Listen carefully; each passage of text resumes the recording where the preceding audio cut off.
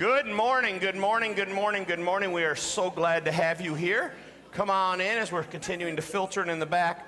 I just want to get started with our announcements. Um, at the end of the service, right before, um, before the blessing, I'll invite um, Bill Black up, the head of the call committee. We'll give an update on what's going on there, but they'll be at the end of the service, and I'll invite him forward at that time after the Lord's Prayer. But I want you to look at your connect sheet. Hopefully, you got one. Um, right there on the front, you'll see that Christmas carols and desserts. This room, 6 to 7 tonight. 6 to 7 tonight. The Richmond High School Chamber Choir will come at a time there and there and give us a little performance, but then we'll also um, just sing some carols, have some, some desserts. I know we got some desserts that are being made and prepared, and it'll be a wonderful time. The struggle, or not really the struggle, the blessing about being a bigger church, and then also kind of the hard part is, is we have three different worship services. So when we do congregational events like that, it really helps us get to know other people that maybe go to the 8 o'clock service. And I'm a true believer, and, and I believe people that are 70 year old, 70s can teach someone who's 15 now, 15 now. So it's a great way to, to get us to interact together and things like that. So if you are available from 6 to 7.30 tonight, we'd love to have you here um, for that wonderful, wonderful event. Today is the last day to sign up for Breakfast with Santa, which is next Saturday. And then also, um, right below on that Connect sheet, something new this Christmas season, um, already out there. For the next couple Sundays and Christmas Eve, um, we now have a holiday photo station located in the atrium. If you walk out there, you'll see a, the Christmas tree, and then there's a station there that we encourage you to have some fun with and take pictures with it for your family. And I know all your kids are thinking, Pastor Chip, now you ruined it for us. Now we got to take family pictures.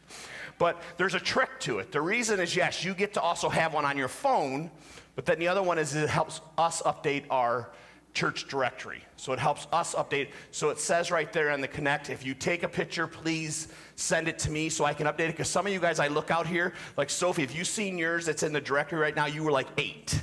So I got to get you a little bit older then, you know? And, and then, RJ, you didn't have hair like that in the last directory. So we want everybody to see that amazing hair. So if you have time to do that today or over the next three Sundays, that's great. Or Christmas Eve, because I know Christmas Eve that you'll all be dressed beautifully and, and ready for the Christmas season.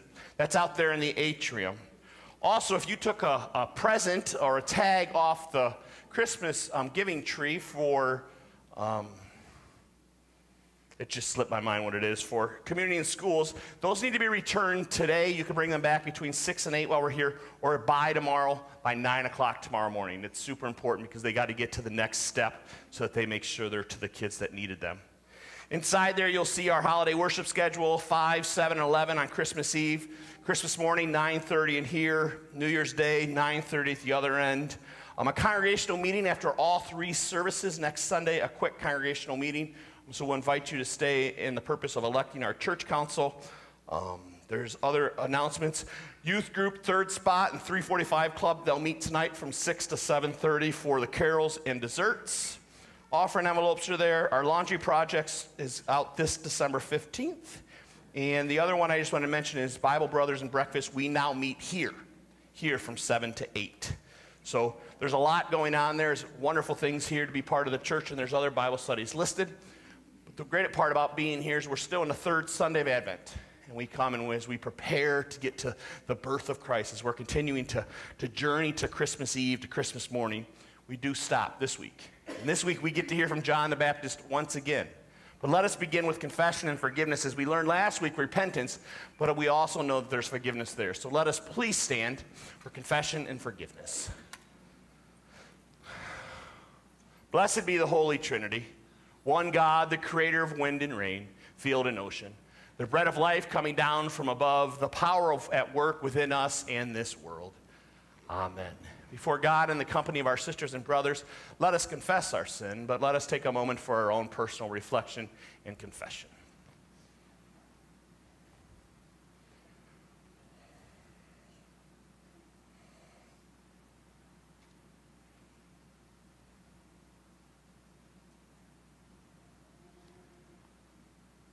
God and Father of all, we confess that we have sinned against you in thought, word, and deed.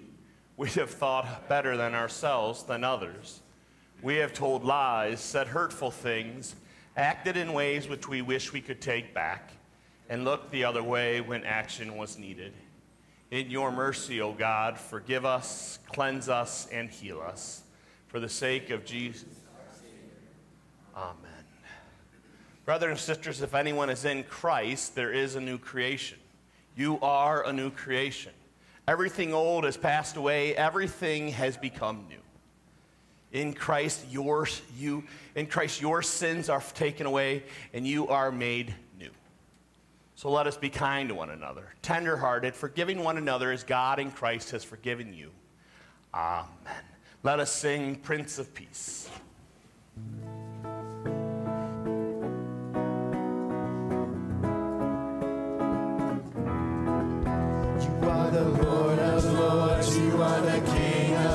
You are the mighty God, Lord of everything. You are Emmanuel, you are the great I am, you are the Prince of Peace. Who is the Lamb? You are the living God, you are the saving grace.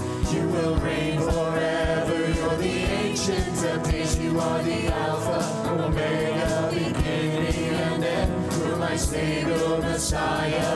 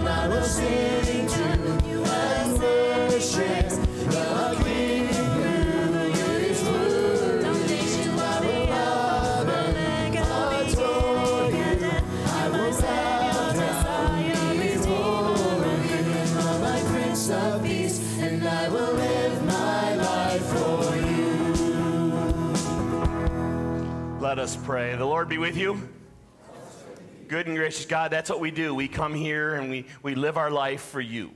We live our life for you. That's why we come and we ask you to come and be present at this time. Present among us here, where you tell us where two or three are gathered, you will be present. So here we are. Fill our hearts, fill, our, fill ourselves as we worship you this morning. Allow us to give ourselves to you as you've given so much for us. So come and be present as we worship you. It's in your name we pray. Amen.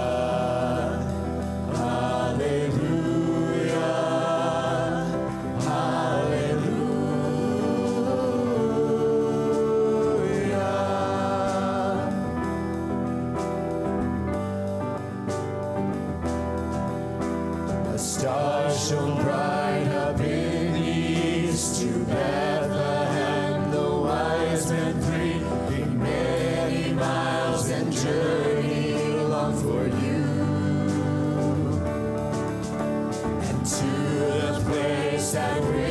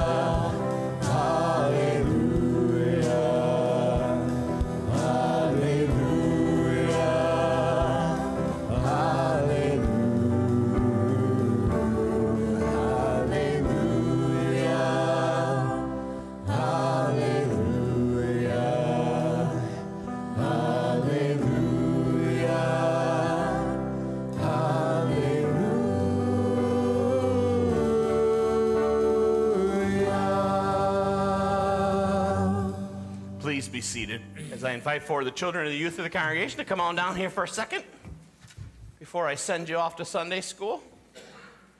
Here he comes. Here they come. Hi, how you doing?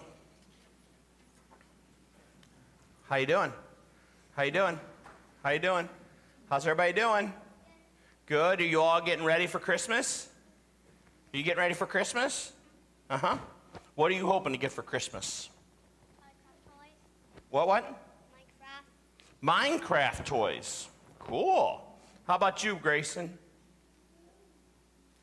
What? A bat cave. Cool. Christian, how about you? What do you want for Christmas? Here's your chance, dude. You get to say it on TV and everything. You don't know? What do you want for Christmas? A unicorn. Oh, well, maybe we can make that happen. That's nice. Well, we are headed towards Christmas, but we, we're still in Advent. So, Advent means we're waiting, right? We're waiting. And remember last week I talked about this guy named John the Baptist, and he had this funny clothing on, and he said, and he said Prepare the way, for the kingdom of heaven has come near.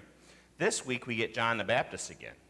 And he finds out that he's actually in jail. You know what jail is? Uh, yeah. Yeah, a place where they put him at, right? And so he says, Where is Jesus at? So he sends his friends and he says, Go find out where Jesus is. And they come back and say, Guess what? Jesus is out doing healings. He's making people see that couldn't see before. He's doing all these great nice things for people. He's feeding people who don't, don't have food. And so John says, Oh, okay, so, so Jesus is out doing that while John's there. And so John sort of says, Ah, but he's still wondering, where's he at? Sometimes it's hard because we wonder, well, when we hurt ourselves, we wonder, well, God, are you there? But here's the greatest thing we can always, you can always pray to God no matter what. No matter what, Christian. No matter what, God is there and He's listening. Like when John was kind of worried and he was wondering, he answered Jesus and Jesus answered back. We are never left abandoned. So this week we continue on with our third week. You want to do it again for us since you've now mastered it? Um, this is going to be our third candle. Let's see if he figured it out. Flip it the other way.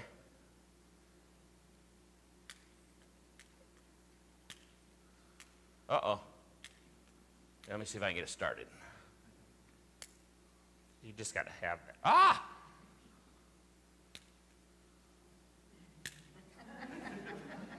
You almost, you almost burned me, didn't he? Oh, let's see. It's always if he can get them. Let's see. One. Let's count them as he lights them. Two.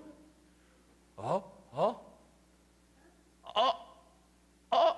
Three, two, three. One more. Three. Our third Sunday of Advent. And then we got one more, and then we'll light that, that last candle. Thank you so much, Christian. Let's pray. Hello, God. Thank you for loving us. Be with us as we get excited for Christmas. Let us always remember we love you and that you love us. Amen. All righty, thank you, everyone. Head out to Sunday school. You'll see Miss Katie standing up there in the middle, and I invite forward our reader for the day, which is Jordan.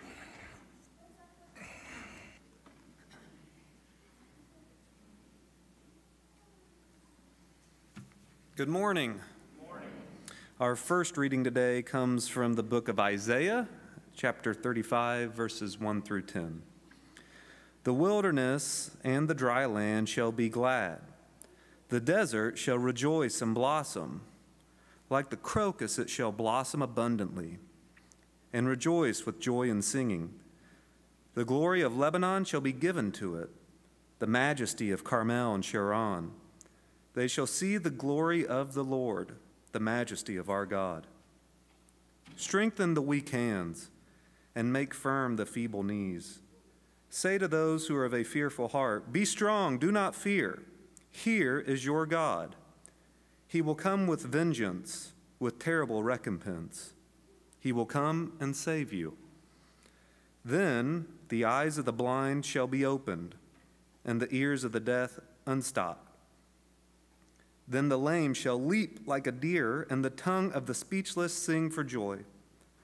For waters shall break forth in the wilderness, and streams in the desert. The burning sand shall become a pool, the thirsty ground, springs of water. The haunt of jackals shall become a swamp, and the grass shall become reeds and rushes. A highway shall be there, and it shall be called the Holy Way. The unclean shall not travel on it but it shall be for God's people. No traveler, not even fools, shall go astray. No lion shall be there, nor shall any ravenous beast come up on it. They shall not be found there, but the redeemed shall walk there. And the ransomed of the Lord shall return, and come to Zion with singing. Everlasting joy shall be upon their heads. They shall obtain joy and gladness, and sorrow and sighing shall flee away. The word of the Lord. Our second reading today comes from the book of James, chapter 5, verses 7 through 10. Be patient, therefore, beloved, until the coming of the Lord. The farmer waits for the precious crop from the earth, being patient with it until it receives the early and the late rains. You also must be patient. Strengthen your hearts, for the coming of the Lord is near. Beloved, do not grumble against one another, so that you may not be judged. See, the judge is standing at the doors. As an example of suffering and patience, beloved, take the prophets who spoke in the name of the Lord. The word of the Lord. Please stand for the gospel.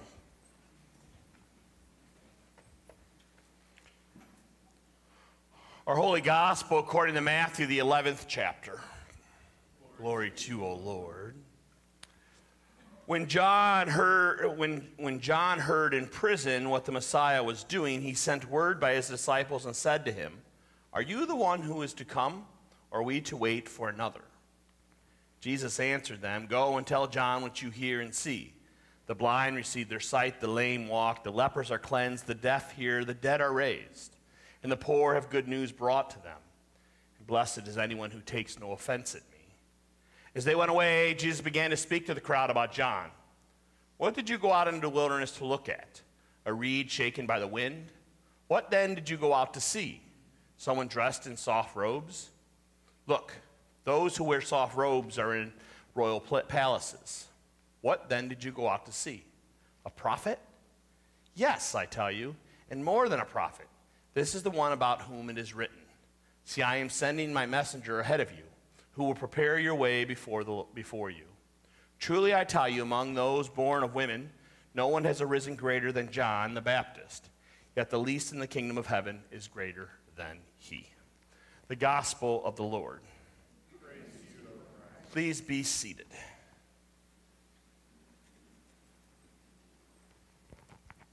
In the name of the Father, Son, and the Holy Spirit, amen. Expectations are just something that we have of people, don't we? Expectations of, of the way that people should be and the way that they should live their life, expectations of, of what we expect them to do and, and become. Expectations are something that really, as parents and, and grandparents and, and family and friends, we put those on each other. And they're sometimes good and they're sometimes bad. They're sometimes right and they're sometimes wrong, but they are given to us and we put them on people. Yesterday, we celebrated my oldest son, Logan's 15th birthday, who happened to run away because he must have knew I was going to talk about him today. And yes, that means now that he's like every other 15 year old. He wants to have his learner's permit, even though he has 16 months until he can even get his driver's license. And that, that whatever comes along with that. And, and so he's going to be starting driver's education. And, and soon I'll be that parent on Facebook that says, Watch out, my 16 year old's on the road now. His birthday also was on my mind all week, as he's my oldest. And I thought about it, it made me remember as I prepared this sermon and the expectations of that day. And not so much the fifth, him being 15, but the day that he entered into the world. December 10th, 2007, Fairview Park up by Cleveland, Ohio at 6:31 in the evening. 6:31 in the evening. 12 hours after he was supposed to arrive. Imagine me in a room for 12 hours with Katie and just me and her. She was ready to throw me out. But I have to say, it was a great day of sitting and waiting. We, a lot of us have been through this for, for the go time, for us to be called in, sitting and waiting for this new life to enter the world, sitting and waiting to see really what God would bless Katie and I with. We didn't know if we were having a boy or a girl. So we wanted to know what that was. If it was going to be a girl, we were going to call her Ava. And we really didn't have a boy's name until probably about an hour before going into delivery. And we thought, we better come up with a boy's name because we thought for sure we were having a girl. And so we got Logan. So this week, as I thought about his 15th birthday, I really was taken back really to the first days of his life. Fathers, you might know this, mothers, you might know this, but while Katie was sitting there in the room and, and she was resting after the delivery, I took Logan and I laid him on my chest. He was sleeping and, and we just laid there. And I got to tell you, I remember just wondering, what's he going to be? What's he going to do? What's he going to be in this world and how he's going to impact people around me? I mean, I didn't make this up. I truly remember that day of him sitting there, and it was kind of awkward because they tell you, I won't tell you whatever. Anyways, I remember sitting there and wondering, as I can imagine most people as they gather around a newborn, and all simply because it's a gift of life, but it's just normal for us to wonder and we put expectations on certain things. It just happens. And if we're honest, it really never goes away. Because as we went to lunch yesterday and we went and got ice cream, I remember looking at Logan now, who's 15, and wondering what's he going to do? What's he going to be? Who's he turning into? What brings joy to his heart? What expectations I have for him still in this world, even at 15? See, let us skip back many, many, many years ago on that silent holy night when the parents, Mother and Joseph, when the shepherds were gathered there and the wise men, gathered around this stable manger and gazed upon this baby wrapped in swaddling cloths. And each of them, I had to imagine, had their own expectations for this baby. Had this own expectation for this baby that, that would become, for Mary, as she was told, will be the, the, the God's son. Imagine what she wondered, what expectations she put on him. Or for Joseph, remembering those dreams and, and all those things he received, and then I will have to imagine that he also wondered that day.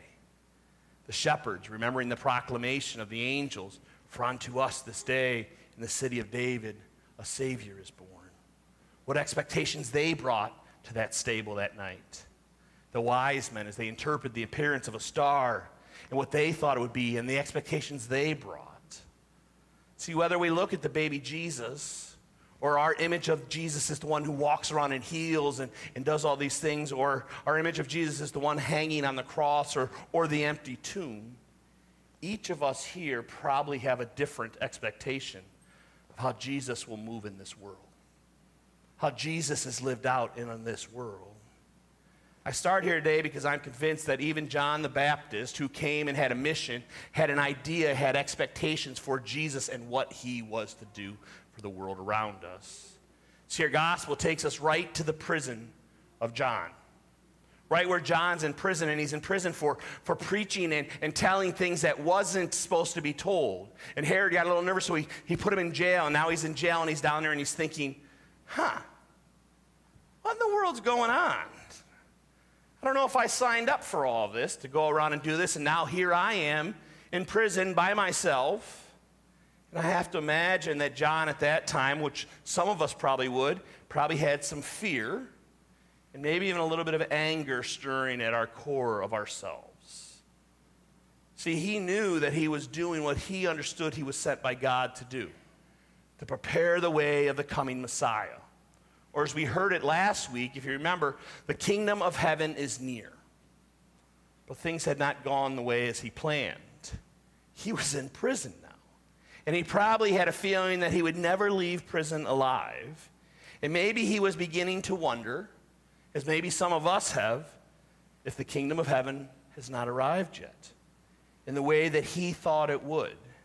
Because for John, his expectations, his concept of God was that of a righteous God and a holy God.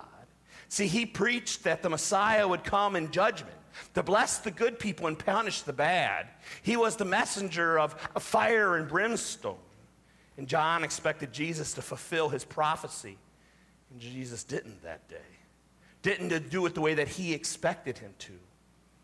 So possible doubt started to come into John's thoughts, started to come into John's of who he is, and he maybe started thinking, was I wrong? Was I wrong all those years ago? Was Jesus not the Messiah? Was the Messiah still to come? Has my life and ministry been a mistake? Would I be executed because he believed what he was believing was a lie? And as we see in our gospel today, I can imagine John probably on his knees. He sends his friends, his disciples to Jesus and says, Go find out what's going on. Are you not the one, or should we still be waiting in order to determine if he truly was him? And we maybe understand that doubt a little bit of John, don't we? Sometimes we ourselves might have that doubt sometimes as well. Commonly, we come to Jesus thinking things will be better. Sometimes our sicknesses don't get better. Sometimes we come to Jesus with our struggles and they don't always get handled right when we think they should be handled. Sometimes we go to Jesus and we say, God, please, please, please, please. We make these, we make these petitions and they don't change much. Sometimes we can maybe understand the, the doubt or the frustration that John was feeling. And like John, Jesus doesn't always meet our expectations. And doubt comes in. Doubt comes in, and we wonder where? Why? How can this happen? We've all had something in our lives when a tragedy's happened where someone breaks in or, or sin breaks into this world, and we think, but God, how can that happen to such a good person? How can that happen to such a good person? I was just in my first couple years working at Salem in Toledo, and, and, and, a mother died of cancer, but she left behind two little kids and had a, a teenager who passed away earlier in her life. And I remember, and, I, and I'm not always proud to say it, but I remember saying to God, How can this be possible? I knew for sure she was a good mother, a good parent, a good, good believer in Jesus. She didn't deserve to have her teenage son die. She didn't deserve to have that unfaithful husband or even that breast cancer, but that was her plight. Let me confess, I remember during that time saying, How, Jesus? Amy should have not have had to deal with those ha- things that have happened to her. And the cancer shouldn't have won, but it did. Yes, this is an extreme example. But we have all had times in our faith journey when we wonder or we think or we get a little frustrated that the outside world wins and we wonder, Jesus. We remember, God, are you there? As John did that day. We may ask God in a prayer with tears coming down our face and on our knees, and we may pray and we may scream and we may yell. And God comes back and replies as he did to John that day. The lame are walking, the blind see. I am the true Messiah. Maybe not the one that you want, the brimstone and the fire and all that, but things are being done and I am here. And so when he asks his disciple, he says, John and Jesus instructs them to tell John what they hear and see. It is the word, Jesus' words and actions that we begin to understand what we can expect from him. We hear that Jesus' actions, we realize that he did not come to fulfill our expectations, but rather to meet us where we are as followers of God on this third Sunday in Advent. We can expect that Jesus' steadfast love and acceptance. And here's the good thing our doubt that we have isn't the first time that God had to deal with that. Throughout the whole Old Testament, the people of Israel even had some doubt in their own lives, and they lived it out by being a pretty rebellious group of people. But God never stopped loving them. God never left them, and He actually refers to them as His people, calls them His own.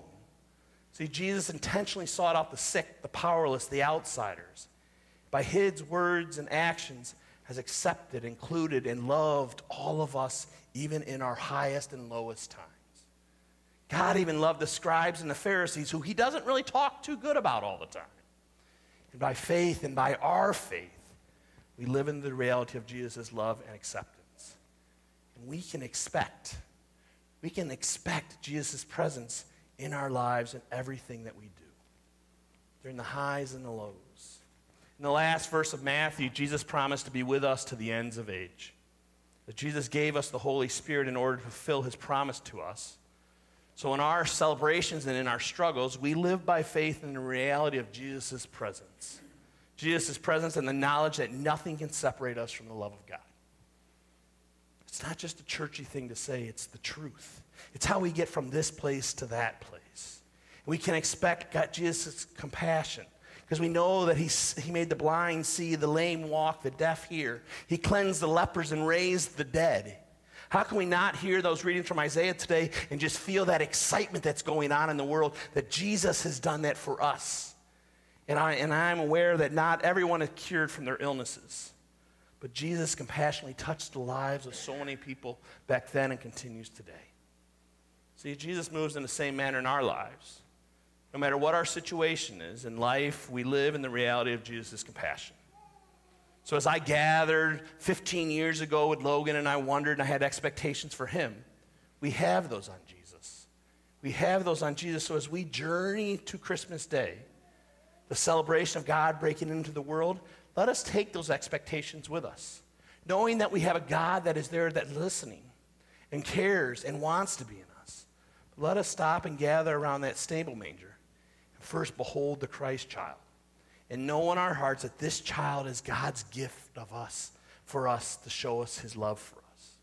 He's our teacher and our Lord. This Jesus doesn't call us to, to a prosperous life, nor does he call us out of the brokenness of this world. This Jesus that we're here to worship simply calls us to follow him in faith and expecting him to act beyond our expectations. Beyond our expectations. The peace that passes all understanding. That's what he provides to us every single day. And for that, we can be grateful. Amen. As I invite forward the praise team, we'll remain seated as we sing this song. Let us enter into a time of prayer. God, Advent is a weird time that we, we continue to journey to that Christmas Day celebration, knowing that we do need to take these stops along the way to be reminded that our expectations for you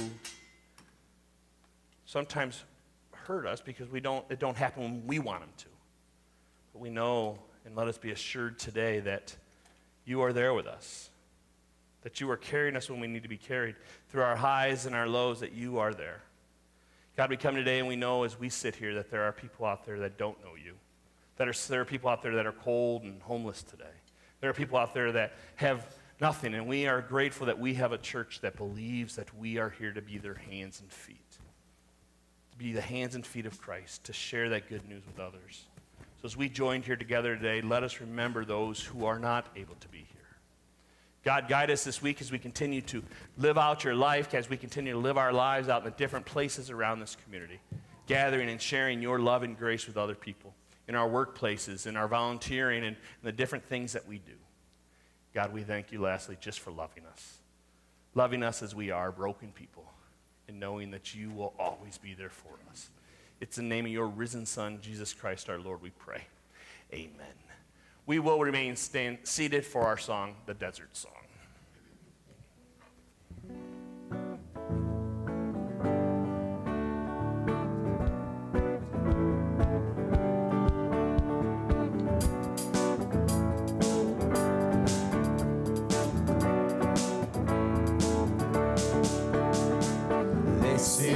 Prayer in the desert when all that's within me feels dry. This is my prayer in my hunger and need. My God is the God who provides. This is my prayer in the fire, in weakness or trial or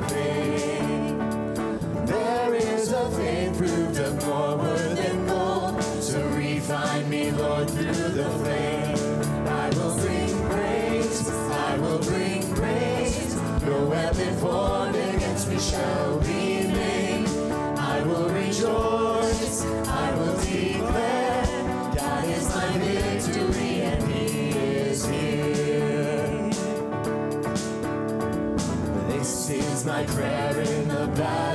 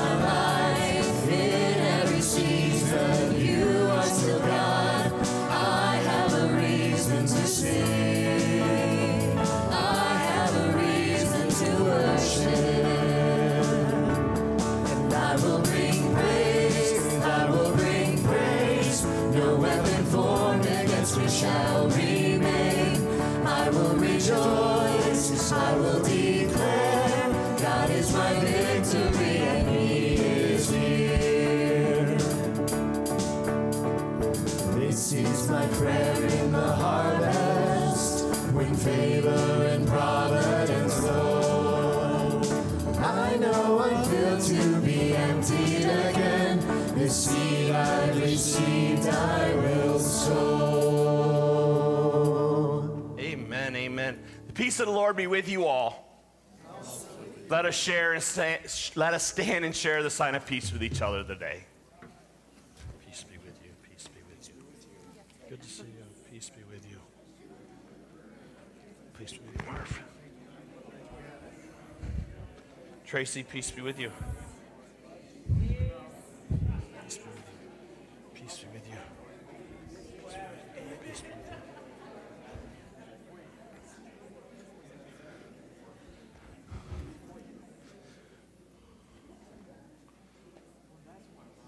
I will invite us to please be seated again as we receive our gifts and offerings. So let us give to God as God has first given us as we sing another praise team song.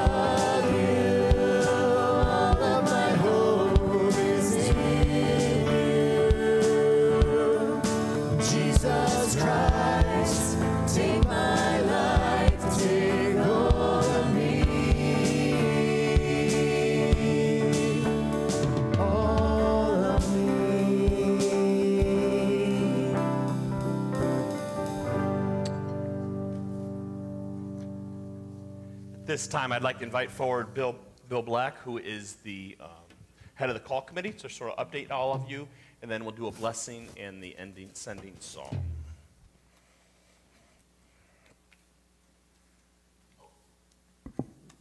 Good morning. I want to give you an update on the call committee uh, and the progress that we've made. Um, you may remember that Church Council and the call committee adopted an outline for the call process through the Indiana Kentucky Synod. And the first part of that process was filling out uh, a large document called the Ministry Site Profile. And it is who we, it talks about who we are as a congregation, what we do, what we believe in, what we represent as a congregation, and also where we see us moving into the future. It seemed like a pretty daunting task. It's a big document, but in truth, it turned out to be kind of easy because what we did was tell the truth in this document about who we are and what we do. And it turned out to be kind of an enjoyable experience, not a daunting one. But there were three themes that I think you need to know that clearly came out in this document. The first is we are a Lutheran church. We celebrate and believe in the Lutheran tr- tradition. The liturgy, the scripture, and the sacrament are part of all services that we have. The second theme that shone through fairly brightly was that we're a pretty strong church. We're not in a position where we need to be revived or resurrected. We're strong, and what we're looking for is to continue on this path and perhaps find someone, someone to help us come up with new ideas to continue to be as successful as we are. And the third theme was that we truly believe in community outreach. That's an important part of who we are. Not only do we try and reach out to the community, but we have the community come to us in this building, and we really want to continue that. There was a lot of input that had to go into this document and from various groups and sources, but you guys, the congregation, were one of them and we had asked you to fill out a survey about what is important as far as gifts for ministry.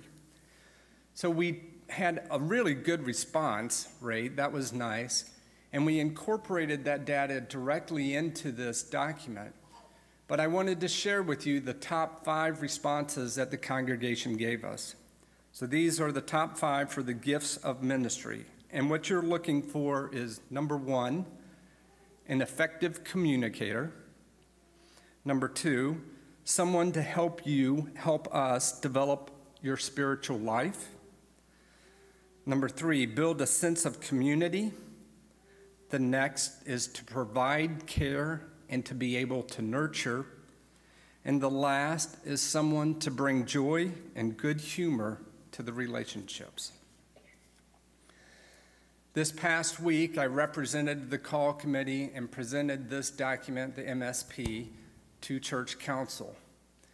There were a few tweaks and minor changes, but in general, they liked what they saw. I will also say that I was able to stay for that meeting, and it also generated some conversation by council about ways that they can improve and things that perhaps they need to do so that was perhaps a secondary benefit of the whole process. Lastly, this week, uh, on behalf of the call committee, I presented the document to the Synod, who approved that. During this whole time that we, the call committee, is working on our responses, Pastor Chip also had the same task. He has it's called the Rostered Ministry Site. And it also is about, for Chip, who he is in his ministry life, what he is doing, what he believes in, and what he is looking for in the future. And this week, both of those documents were released to each other, and we have seen Chip's response, and Chip has seen ours. And that is where we are up to date. What I also want to tell you is what are the next steps for us. This week, we will sit down with Pastor Chip and have discussion. You may even call it an interview to decide are we a right fit for each other? Is there the potential for a call for us and for Chip? And if that goes well and both parties want to proceed, then a very similar process will happen with the church council. And if that goes well, and both parties, Pastor Chip and church council, want to proceed and believe there's a call, then it will eventually come to the congregation for a congregational vote. If, for whatever reason, Pastor Chip does not believe there's a call or the call is not extended, then we will go to outside the church. And if and when that happens, then we will promise to keep you up to date as well. I'm going to say two more things. One, I've been asked about this process and why are we taking such a deliberate route. And I would tell you, I think it's been good for us as a congregation and for us as a call committee representing you as a uh, congregation to look at and to, to discuss where we're at and what we want. I also think it's probably been a benefit to Pastor Chip this time to have some time to reflect on what he is as a minister and where he wants to go. And I do think, lastly, as a congregation, it's given us a chance to see Chip in a leadership role, to see him somewhat as the senior pastor now. So, although it seems to some that this is taking too much time, I want you to believe or to hear that we feel this is a deliberate process and we are making progress.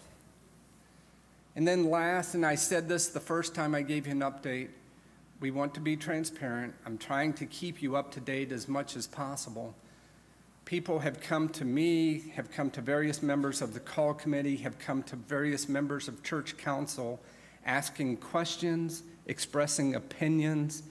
And I want you to know those are discussed and considered in our meetings. And again, I extend the invitation for any member of the call committee or any member of the church council to answer any questions about where we are and what the next steps are. Sorry to take so much time, but I think it's important that you know where we are and what we're doing. Thank you. Thank you. Thank you for your diligent work on that. Just so I work my way over, Kathy Zaleski, which is over here, she's on the call committee. Jeff Carter, Bill Black, Nick. Anyone else? So if you have questions, you can always ask them, talk to them, speak to them. They are there for that. And then Ben is the council president. He's always willing to, too. Thank you for the call committee for the diligent work that you did um, on that wonderful profile. I invite us to please stand and to receive the blessing.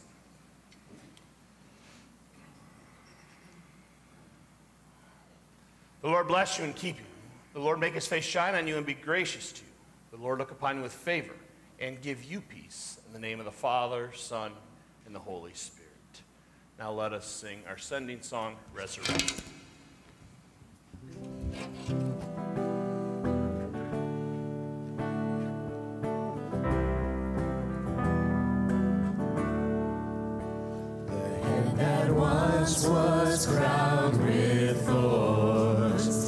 Is crowned with glory now.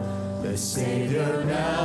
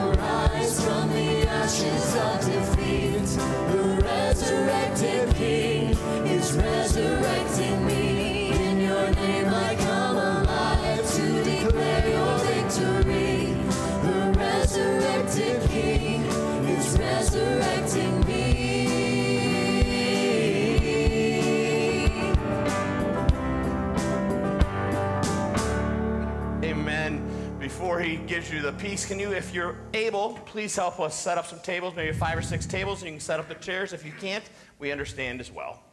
Go in peace, serve the Lord. Thanks be to God. Your name, your name is victory. All praise will rise to Christ our King.